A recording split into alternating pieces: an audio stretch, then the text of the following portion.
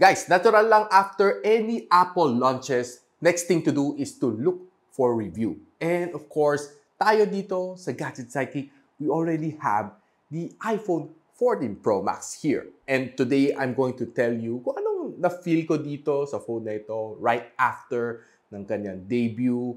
And I believe that this phone has some significant upgrades. But of course, it's not the best iPhone ever.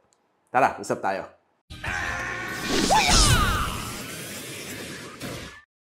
So hi guys, ako pa si Richmond ng Gadget Psychic and welcome back to my channel. And today's video guys is being sponsored by our friends from Toras and they have sent me all these cases and all this tempered glass for me to try on my iPhone 14 Pro Max. And in a little later, papakita ko sa inyo yung mga case na ito. And well, pretty much ang dami no.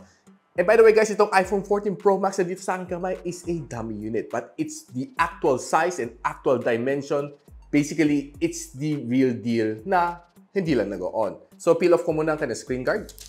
And ang dami sa inyo nagsasabi na the iPhone 14 Pro Max looks exactly the same as the 13 Pro Max. And you are damn right dahil it's exactly the same with uh, some upgrades but well, significant but hindi siya malaking jump. Now, pag-usapan natin a little bit about those details dito sa video na ito and what I think about this phone. Guys, this phone will be available at Beyond the Box pretty soon and I'll be posting on my Facebook page ang kanyang price once na in-announce dito sa Philippines. Now, first things first, ang napansin natin dito sa phone na ito is tinanggal na nila yung notch. Pinalitan nila na hole punch. So, it's basically a oblong na sa in replacement of the notch. So, basically, it's something na kakaiba. It's kind of unique, but at the same time, parang if you're a gamer, pag gumagamit ka ng phone, parang, well, it's nothing really different from a notch except na nakahiwalay siya dun sa kanyang bezel. That's it.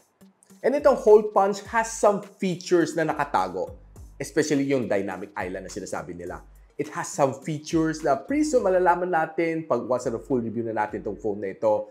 It can turn into a music player, it can turn into yung call na icon, and it has a little bit more function other than just being hosting two cameras and one sensor. So, I think it's something innovative and pretty soon, I'm sure na yung mga Androids baka magkopyahan na naman tulad dati na nagkopyahan sila nung notch ni iPhone. Now, another thing na nag-catch ng aking attention is that ang kanyang selfie camera sa harap is quite improved. It can let in 38% more light, meaning mas magandang mga shots natin. Lalo especially now na people are using the selfie camera more often than the rear camera. Taking TikTok, Instagram photos, Facebook, and well, probably even Twitter. Now, alam natin the most cameras sa Android, ini-improve nila is the rear camera.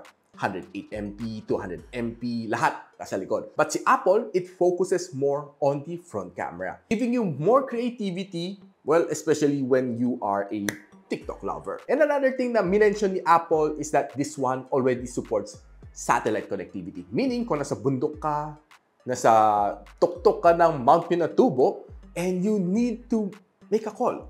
Well, you won't be able to make a call, but you can just make emergency na, well, probably messaging to your loved ones na letting your family know na sa tuktok ka na ng volcano.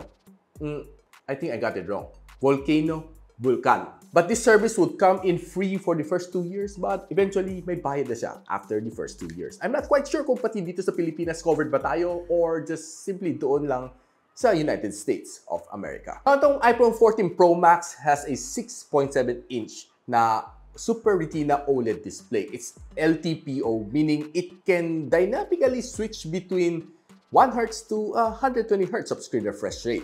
And another thing na na-add dito sa kanya is the always-on na display, which is, well, uh, it's nothing new sa Android, but this one, it can use up to 1 Hz sa kanyang display on the front camera, making sure na yung transition mo between the, the lock screen to the home screen is sobrang seamless.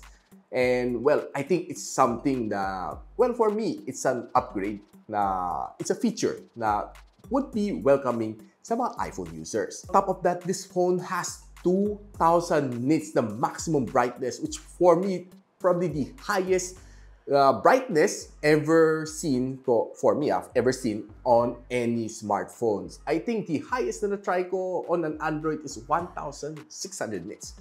Yun ang pinakatuktok. But this one, winasak niya. 2,000 nits, guys. Sobrang bright nito.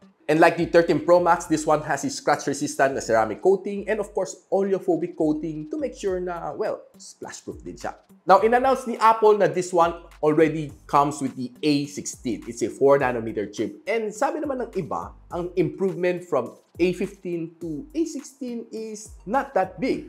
Unlike si Snapdragon 8 to 8 Plus Gen 1, nakita natin on our previous video na ang laki ng kanilang lundag. Significant ang kanyang changes between the two generation of chip. But this one, sabi nila, well, incremental increase. Like any Apple devices being released from series to series. And ang RAM nito is being fixed at 6 gigs of RAM, but ang kanyang storage can vary from 128 gigs of storage to a 1 terabyte of storage. But of course, ang kanyang presyo, I'll be revealing it pretty soon once na in-announce ni Beyond the Box.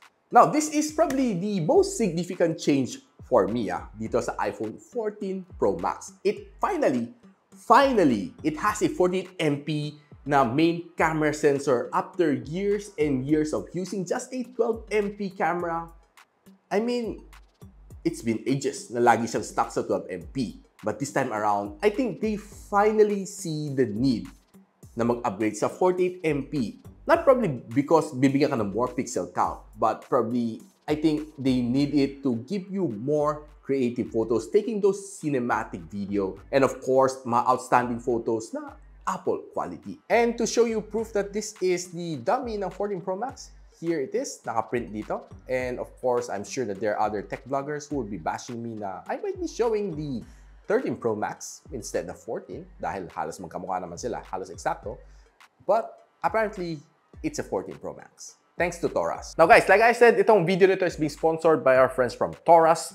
And I have here uh, tempered glass and some really nice cases na, well, I pretty much believe na matibay, maganda ang mga Taurus na products. And I've been using them for quite some time. And this one, let's just simply start off with the screen protector dito sa iPhone 14 Pro Max. Putting everything aside, let's just see uh, about this product. And probably we'll be using this one on our 14 Pro Max once na dumating na ating order from Beyond the Box. And This is the package content and pretty much ang ganda ng packaging. And this is the screen guard. And hindi lang isa, no? Dalawa pang screen guard ang kasama sa loob. And pretty much it. And yeah, I, I believe na this is something to have as a backup in case na nabasag nyo isa. At least meron ka pang backup, no? Which is really something nice na hindi mo kailangan bumili ng dalawa. Of course, having two separate packaging uh, for the same product. Kasi yung mga tempered glass, normally pag medyo clumsy ka, I think 6 months down the road, may makita ka ng chip off sa kanto dahil siyempre nalaglag, nabasag, or of course, kung pinapera mo sa mga anak mo, I'm sure one way or the other, kahit papado, magkakaroon ng kunting chip off yan. And of course, it's nice to have a backup like this one to, of course, keep it really smooth experience. Uh, so saktong-sakto lang siya here for our 14 Pro Max and definitely we'll be trying it on once na dumating ating uh, actual unit. So here are some wipes, some manuals. Ito kanyang guide. No? This is pretty much the most important one na kakailangan mo once you uh, stick on that uh, tempered glass sa inyong iPhone 14 Pro Max. And of course, ang kanyang squeegee na panulak sa screen para mawala yung bubbles. So, isa-isayin natin mga case na pinadala nila. So, this is what we call the Taurus Diamond Clear Slim Thin na case. So, just quickly see. And halos lahat naman ng ginawa ni Taurus na. It's pretty nice. And wow, this is really slim and sturdy. Ah. Hindi siya basta-basta na case, clear case. Once I slap this to the back, it will look something like this. It's pretty nice, no? Nasa mga clear colors. It's uh, really malinis and very attractive tingnan, no? And for some people who like simplicity, I think this one is really nice just for you. Lalo yung sides, kita pa rin na shiny pa rin ang sides. Now, moving on, we have here the Taurus Mars Climber color black. So, tingnan natin. So Mars Climber niya no, is always the one na mayroon stand pang no, no video. Okay? So black ang kanyang border and likod is frosted finish. And this is uh, more rugged finish for people who likes uh, hindi yung sobrang loud. Okay? Kasi ang clear case medyo masyadong agaw tingin. But this one, medyo buwabawas ang kanyang pagka-agaw attention. Medyo mas subtle siya na konti. Not letting people know na it's an iPhone. But well, alam naman nila kung ano itsura ng iPhone. So, yeah, needless to say na alam din naman nila. And this is how it looks like if you put it at the back. And it kind of uh, may pagka-smoke black finish no, dito sa kanyang color silver variant ng iPhone 14 Pro Max. And well, the this one, you can put it as a stand. Pwede mo i-adjust ang kanyang angle, depende sa gusto mo. And this is pretty much it. And very portable siya. Now, the next one is the Taurus magnetic design. It's uh, another color black case, which we want to see, to try This out in channel. And this one has some buttons. you Ano, pwede pang palitin sa gilid. We'll be trying it on once na dumating ating actual unit. Maybe not now. So, pwede mo i-pop out to mga buttons na ito. And ito is more of pang, para sa MagSafe niya. No? It's uh, kind of different, the design niya.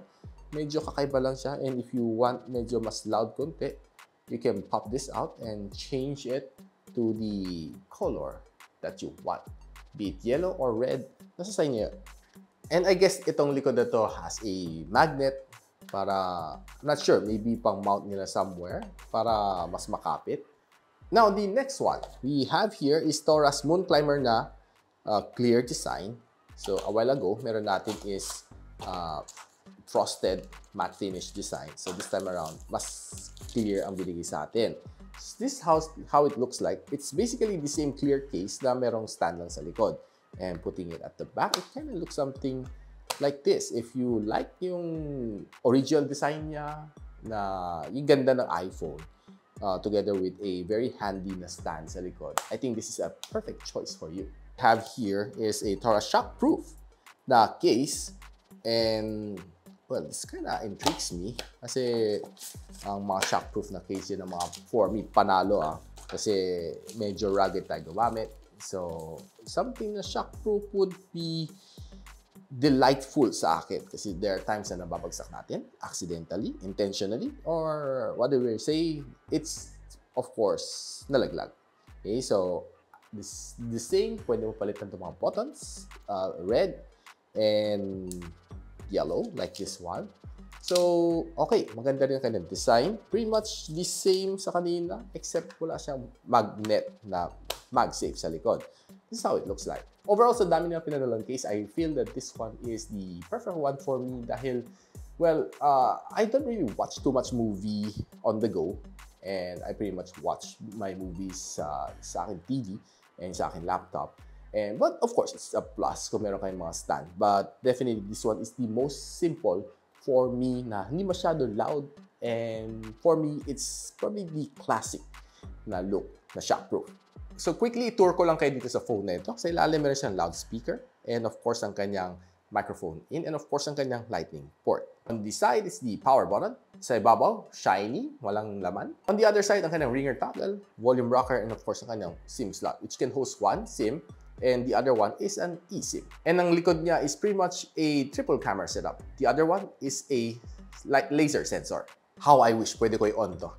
Now, one big announcement na sinabi ni Apple, it's that iPhone 14 doesn't have a mini anymore dahil, well, it only accounts for just 5% ng sales nila from last year, last generation. So, they decided to drop it, but they add something new. This time around, meron siyang iPhone 14, 14 Plus, 14 Pro, and 14 Pro Max. Well, it's up to you kung anong tingin nyo na just sakto sa inyong kailangan. But I think the iPhone 13 Pro Max, palaban pa rin siya this 2022. But of course, I might be wrong, but I just want to wait for the full actual item na dumating dito sa aking channel for me to test it out before I can give you my honest take of the iPhone 14 Pro Max. And of course, with that said and done guys, if you want to have an update kung kailan i-release dito sa Philippines ang iPhone 14 series from Beyond the Box, I'll be follow me sa aking Facebook page. I'll be posting all the updates there. And of course, I also do have my own personal website, www.gadgetpsychic.com, and I will post everything there. to update you. So guys, kung nagustuhan nyo itong video nito, don't forget to like, subscribe, and of course, click that bell icon para na miss mga future uploads dito sa akin channel. And so ako para si Richmond and you're watching Gadget Psychic. What's up?